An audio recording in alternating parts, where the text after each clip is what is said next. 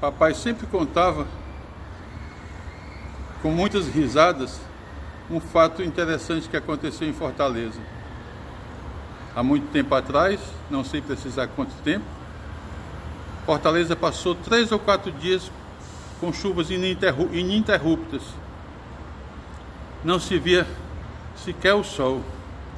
Todo mundo já de saco cheio de tanta chuva.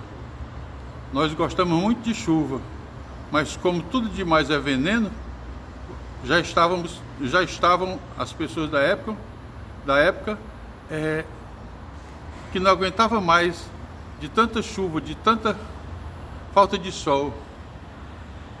E em certa, certa manhã ou, ou tarde, o pessoal que se reunia na Praça do Ferreira, a mundiça, como a gente diz aqui brincando, viu aquele sol bem fraquinho, encabulado, e não deu outra.